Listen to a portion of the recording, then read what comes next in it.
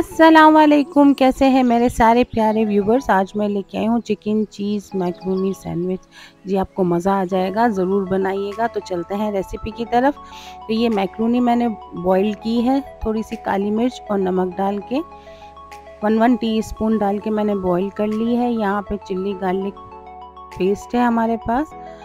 Ketchup है और ये चिकन ब्रेस्ट है स्लाइसिस है हमारे पास। और ये चटर चीज़ और मोजरेला चीज़ जिसको दोनों को मैंने श्रेड कर लिया था। और ये चिकन है देखें अब हम चिकन में सिर्फ़ हमने नमक और काली मिर्च डाल के इसको बॉइल्ड कर लिया और फिर उसको भी श्रेड कर लिया है। तो चलते हैं ये देखिए, ये मैंने श्रेड किया है। अब यहाँ पे ऑयल थोड़ा सा लेंगे तो ऑयल में हम थोड़ा सा अदरक लहसुन का पेस्ट डालेंगे वन टेबल स्पून और इस तरीके से हम चिकन को मिक्स करते जाएँगे और सब वन बाय वन डालते जाएँगे। तो सबसे पहले सोया सॉस एक चम्मच एक चम्मच चिली सॉस एक चम्मच हमने विनेगर डाला है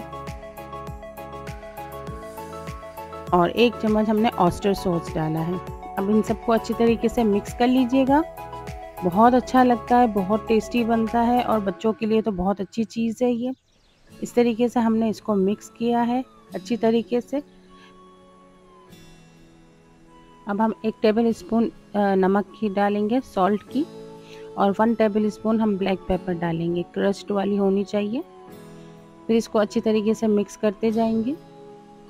बहुत अच्छा बनता है, बहुत जायके वाला बनता है, और यहाँ पे हमने लिया है चिल्ली गार्लिक टमाटर केचप का जो पेस्ट आता है चिल्ली गार्लिक का, वो हमने ऐड कर लिया है इसमें अच्छी तरीके से। अब हम इसमें डालेंगे हमारी जो मैक्रोनी परी हुई थी। बॉइल्ड वो हम इसमें ऐड करते जाएँगे। अच्छी तरीके से इसको मिक्स करेंगे।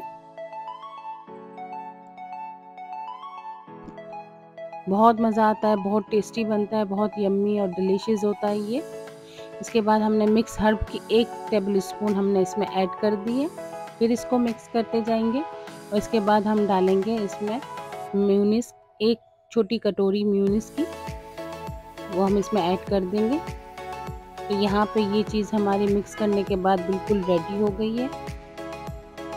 बहुत अच्छा बनता है। अब यकीन नहीं करेंगे, आपको मज़ा आ जाएगी।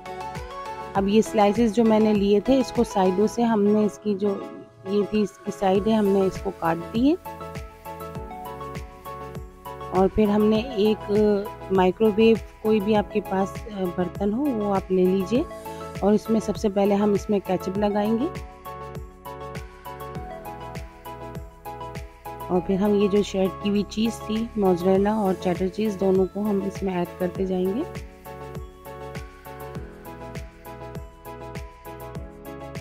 इसके बाद हम इसमें ऊपर लगाए डालेंगे मैक्रोनी जो हमारा ये पेस्ट बन के रेडी हुआ था। और फिर हमने ऊपर टमाटो केचप थोड़ा सा और डाल दिया इसमें, और फिर चीज़ डालेंगे।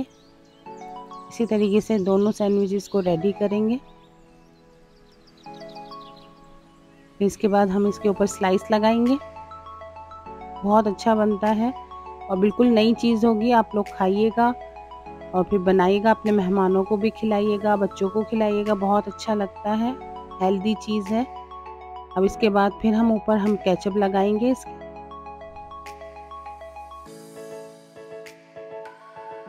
थोड़ा थोड़ा लगाना है क्योंकि हमने अंदर भी ऑलरेडी केचप लगाया है, इसलिए हमें सिर्फ़ थोड़ा सा ही ऊपर लगाना है। फिर हम चीज़ का एक, फिर ये इस तरीके से चीज़ लगाएँगे हम।